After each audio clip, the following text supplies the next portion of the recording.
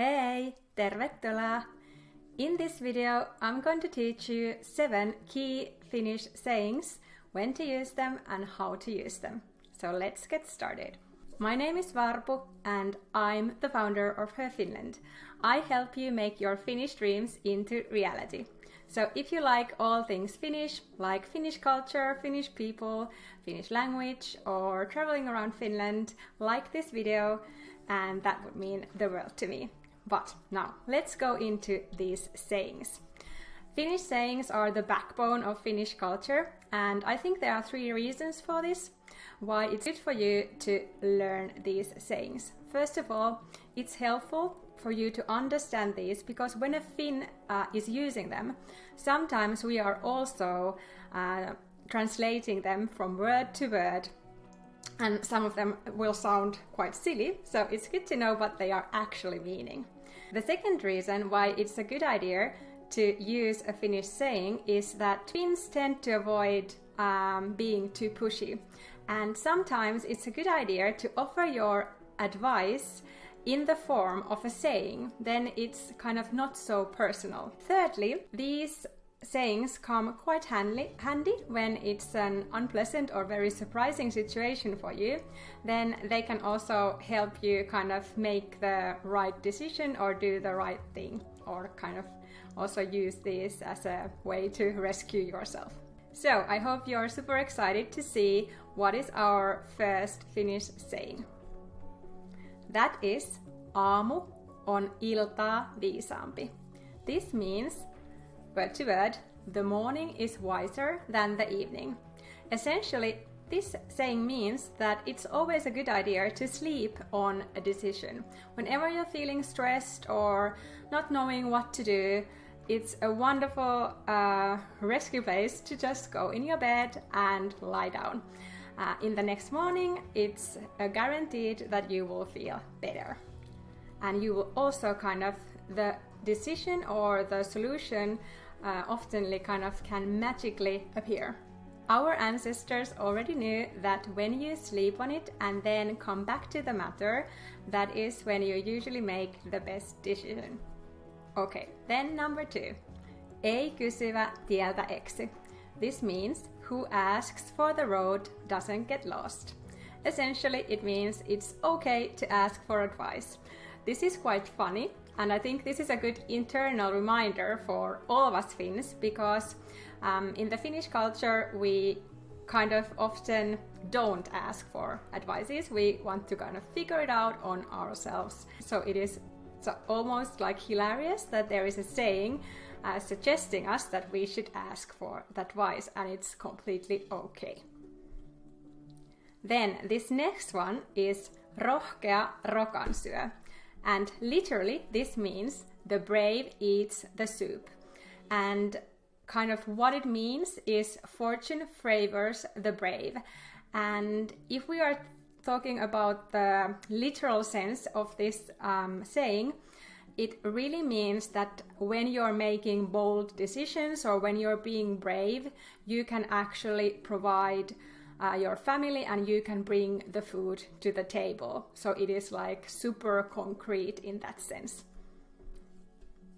Then the next one is about forest. Niin metsä vastaa kuin sinne huudetaan. And this means the forest answers in the same way one shouts at it. And this means essentially that what goes around comes around. It's again very concrete with this, this Finnish saying, and this refers to the forest echo. When you are yelling to a Finnish forest, you almost always hear uh, your voice back when the forest echo is returning it. This saying is often referred to when somebody is being mean or snappy and you kind of are maybe commenting it to you yourself or to a close friend. Um, kind of like a reminder that you can do better and you shouldn't do this behavior. Then number five. Joka vanhoja muistelee sitä tikulla silmään. This is quite aggressive a poke in the eye for the one who dwells on the past. And basically, it means that um, it's water under the bridge. And um, yeah, I think this refers to the kind of cultural thing that Finns can be angry or like hold a grudge for a very long time. And again, I think this is a great reminder from our ancestors and from the Finnish heritage that it's not any point to do that. Then number six. Pata kattila soimaa, musta kylki kummallakin. And this means the pot blames the kettle, yet both have a black side. So both parties are equally guilty. Now, this I have funny childhood memories about because for in my daycare and in my um, primary school, teachers kind of um, sometimes use this uh, saying in a situation when somebody is like trying to pretend that they are more innocent than the other party. So then they could refer to this saying, kind of making sure that we all realized that, that they are both equally guilty in this particular situation. And finally, number seven, ei auta itku markkinoilla. Now this means it doesn't help to cry at the market fair and basically it means don't cry over spilled milk. And this is also um, kind of a bit like um, used in internally, I guess, and also for somebody else.